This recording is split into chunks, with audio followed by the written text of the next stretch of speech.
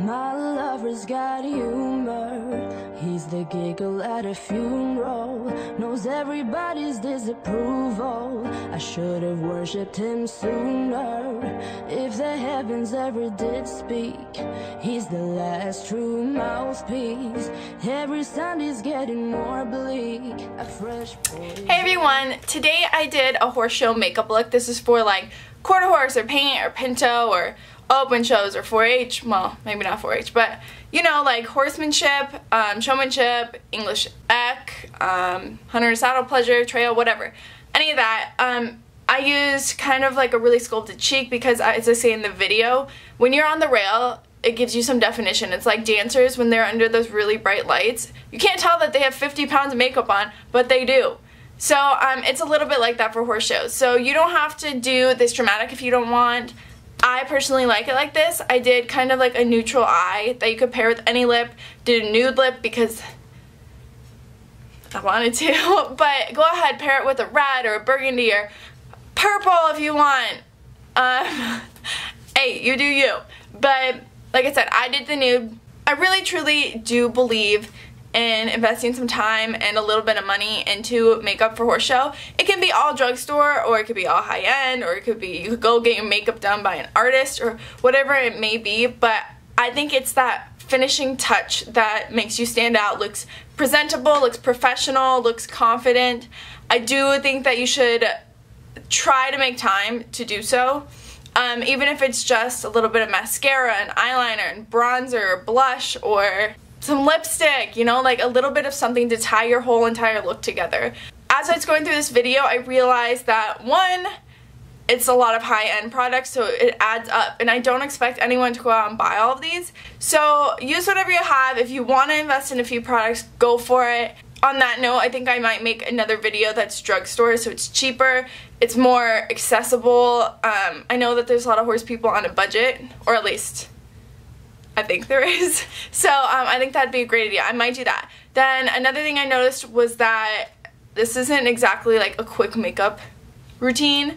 So I think I might do like a quick 10 minute makeup thing where if you're at a show and you show up late and your class is in an hour and your horse isn't ready that you can kind of just throw this on, go look presentable, especially in showmanship. I really think you should do your makeup because you're up close, personal with the judges you should look presentable. This is what I came up with, so if you would like to watch, please keep watching. So first things first, I go in with a primer. Today I'm using the Murad Invisiblur Perfecting Shield.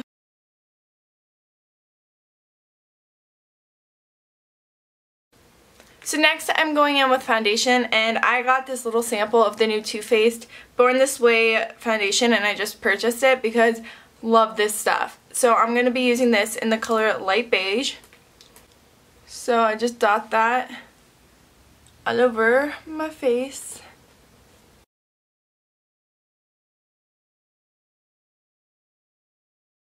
And then I blend that in with my IT Cosmetics buffing brush.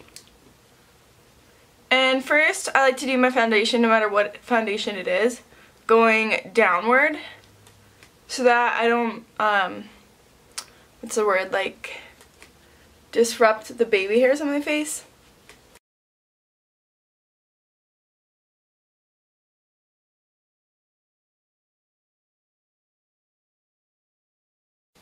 And then I go in and actually buff it in a little.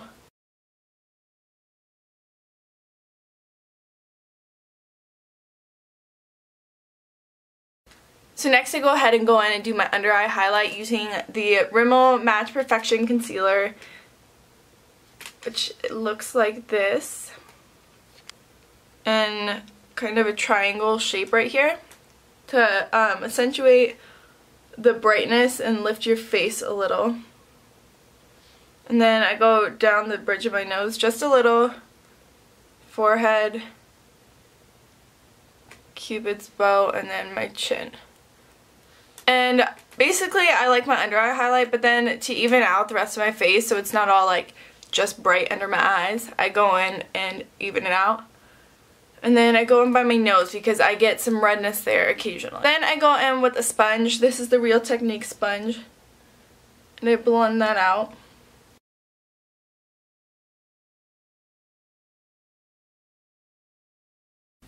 So next I go in and set my under eye concealer using the e.l.f. High Definition Under Eye Setting Powder. And then I use that with my e.l.f. blush brush. Blush brush. That is hard to say. And I just go under the eyes with this one.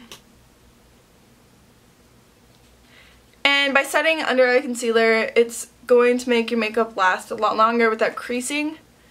To set the rest of my highlighted areas, I'm going in with the Kat Von D Shade and Light palette using a mix of this banana shade and this first shade right here.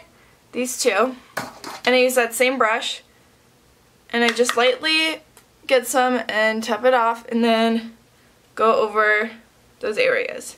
And this again is just going to brighten your face a little bit more and this is totally optional of course you don't even have to do the under eye highlight if you don't want I just really think it makes your face pop and looks really nice. Next to set my entire face I've been using the Hello Flawless by Benefit powder in honey. Um, I really personally like this powder. My face has been really dry lately because I'm using acne medication. So um, this is very hydrating and it gives you a nice kind of airbrush look. And then I just tap this all over my face. I try not to rub because you don't want to rub off your foundation that you just put on.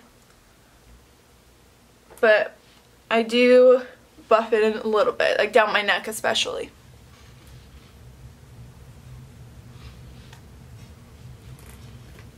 And to set my face, I used the um, Expert, what is this? Expert Buffer Powder Brush by Icing by Claire's. And I am telling you, these brushes are amazing. They're pretty affordable. They're like $10 each or something, but they are so soft. And especially this one I like because it's perfect, like the perfect fluffiness and density to set my whole face. And it's not too small, it's not too big. I love it. And I also actually have two of these because one of them I like to use to bronze my face because again it's big so it can do that but I obviously didn't want bronzer on my powder brush. So bingo on icing brushes. I bought like 20 of them. I love them. So the next thing I do are my eyebrows and I am extremely high maintenance about my eyebrows so you guys totally do not have to do this many steps. I should probably throw it out there that if you have good thick eyebrows or even if you don't have eyebrows this is totally not necessary. Of course this whole video is just what I do. Um, I feel like my brows are really sparse so I like to basically paint them on. But you can go on with an eyeshadow or whatever it is and I might actually make another video that's like quick horse show makeup tutorial because I totally know the pressure of getting ready in like 20 minutes. So um but this is if I have the time this is definitely what I will do. So next step is I go in and do my eyes so to start off with my eyes, I go in with the primer. And I use the Urban Decay Eyeshadow Primer Potion. And I highly, highly, highly recommend investing in one of these. They're, this one's expensive, it's like $20, but any eyeshadow primer will do. Um, or like a cream base of any sort. Ulta typically, well as of now, I think Urban Decay is redoing the packaging of these. So they have them on sale quite frequently. So if you can, go pick one up. But if not, I totally understand horse show people are sometimes on a budget. But I go in with the smallest amount. You hardly need any of this stuff. And I just place that all over my eyelid.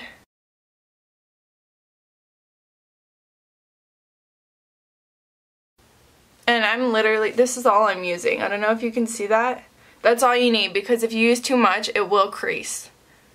Next thing that I do is I go ahead and set that um, primer with a powder and what I've been using is the Wet n Wild eyeshadow in Brulee and this was 99 cents and oh my gosh most amazing eyeshadow I think I've ever bought like high end and drugstore. Well maybe that's excessive but for 99 cents this thing is amazing. It's super pigmented it lasts all day and it's I just love it. It's so good.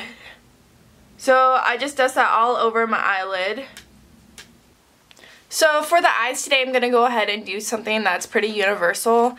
Um, and I totally just noticed that I really don't have a lot of drugstore eyeshadows. And this look is going to be mostly out of the Naked palette, Naked 1 by Urban Decay. But I, like I said, I might do a quick tutorial for horse shows or I might do drugstore. But for now, I'm going to use the Tartelette palette and I'm just picking up the shade right here, which I believe is Natural Beauty. Yes. And I'm taking this on a Morphe M504 and I'm just placing this in the crease and this is going to be our transition shade. And I just very roughly blend that out. It can be super smoky because personally I love me some smoky. I love this brush and I love this Tarte palette. I am such a fan. I'm sorry I'm talking so much guys, but I am such a big fan of um, the Tarte palette in matte colors and it's perfect for me. And you can make so many different looks with it but like I said you totally do not need to go out and buy it because these are both really expensive palettes but I am addicted. And with this color I'm gonna go ahead and just kind of wing it out a little bit. And by that I mean just flicking it out towards my eyebrow the tail of my eyebrow a little bit and then now it's going over to the Naked One palette I'm going to take Buck, which is kind of um, a warm transition shade color. And I take that on the same brush and just place it exactly where we put the other one. This is going to define it just a little bit more and also add a little bit of warmth and depth.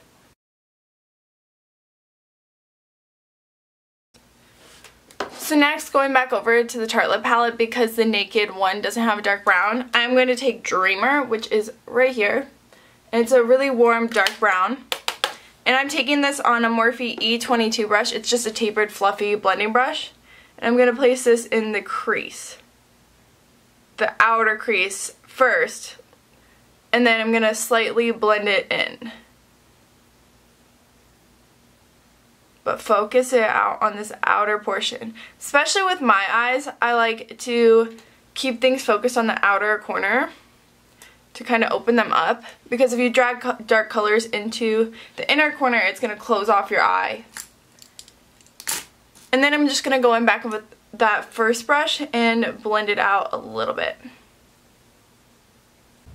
So next thing I'm going to do is take and take this dark brown right here which is called Multitasker and I'm taking this on a slightly fluffy brush to pack it on. This is by Icing. It came in a pack of three. It's called the Crease Wide Shadow. And then I'm going to pack this on the outer, I'm going to say third.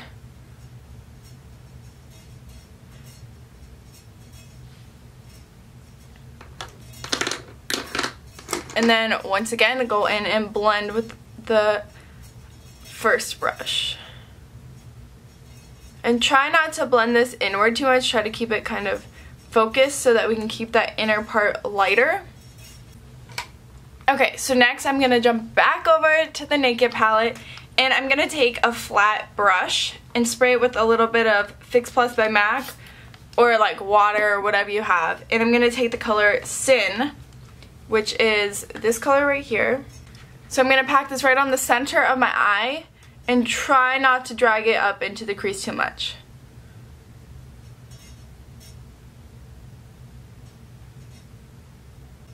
And then I'm going to go in with a different brush and take Virgin, which is right here.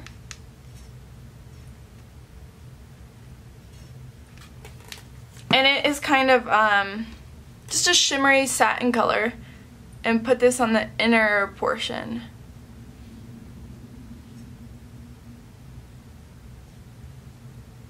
I'm trying to stay in frame for you guys because I'm used to just being able to go wherever I want. So next, again, I'm using another um, eyeshadow by Urban Decay. I love their eyeshadows, but this is Midnight Cowboy Rides Again. Super, super shimmery, pretty color. And what I found with this eyeshadow is that you definitely need to spray your brush with something because one, it gets better color, payoff, and two, you'll get a lot less fallout. So again, taking that same brush, I sprayed it again with some Fix Plus, water, whatever you have, and packing this on the center of my lid and dragging it inward just a little bit. This is going to give some sparkle, which everyone knows I love, especially at horse shows. And then going back in with Brulee by Wet n Wild.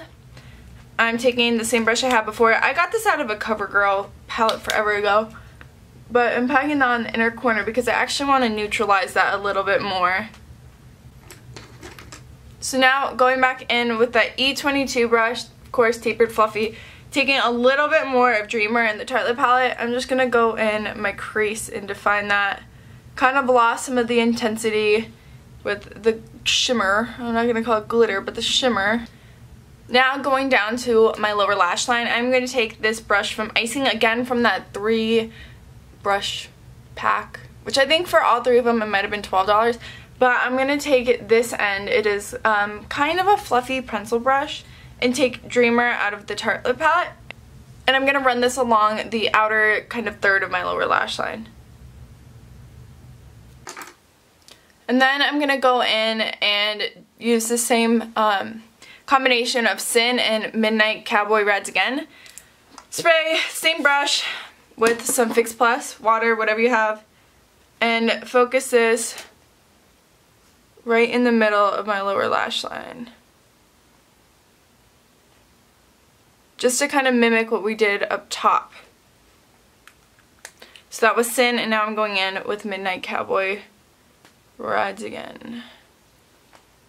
How fitting for a horse show makeup that I'm using a cowboy shadow. Right. So next I'm going to go into the Urban Decay Naked Basics 2 palette and take the first color which is Skimp right here. It's um it's a very shimmery um mm, want to say satin color, champagne satin color, but I'm going to place that right on my brow bone. And next thing I'm going to do is my eyeliner.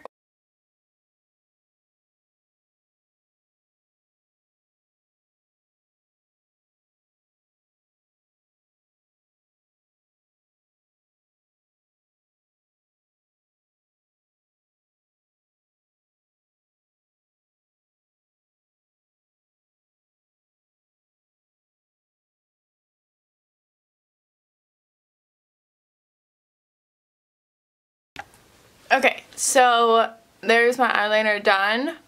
Um, next thing I do is go in with the black eyeliner. Next thing I do is go in on my lower lash, or waterline, with the nude color. This is the Cella Ivory Lace Highlighter, which I'm pretty sure it's not even for your eyes, but that's okay.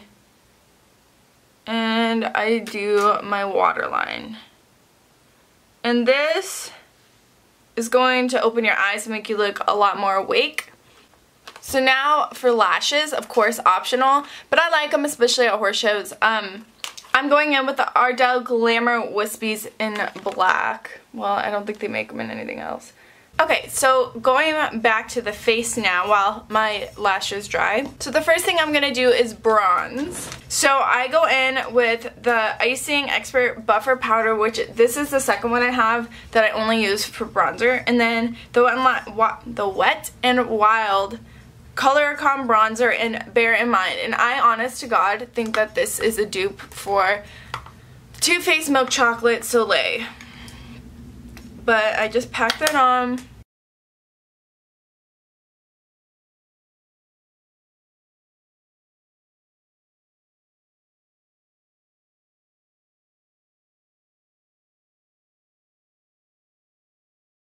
And now for contour, I go in with the NYX Blush in Taupe. And then um, this Kabuki brush that came with my Hoola Benefit bronzer. And I do a kind of a heavy contour because if you're out on the rail, um, you kind of lose definition in your face. So I mean, I up up close, I probably look crazy, but gotta have those cheekbones.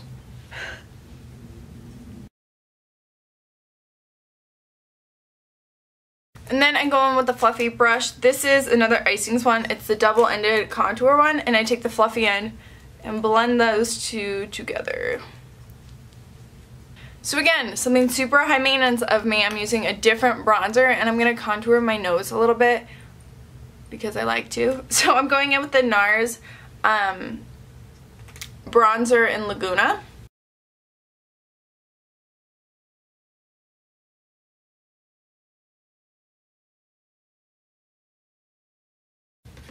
Then for highlight, I use the Mary-Lou-Manizer, which is awesome sauce. And I take the same brush I use to highlight, or brighten I guess. I take this on the tops of my cheeks.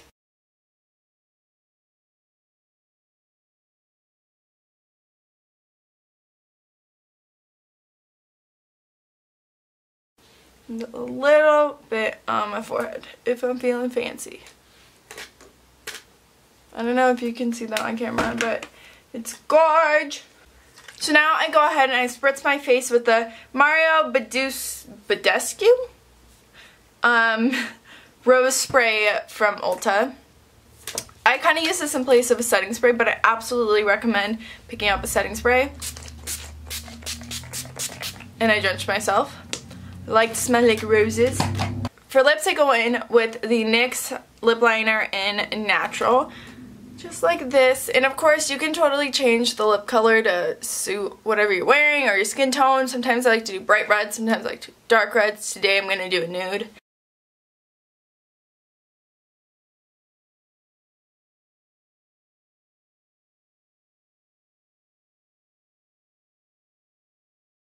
And now I'm going to go in with the NYX Soft Matte Lip Cream, which for horse shows I only use liquid lipstick because it's all that stays on. And this one, you do have to reapply a few times. But I also use the Anastasia ones, just like I said, depending on the color.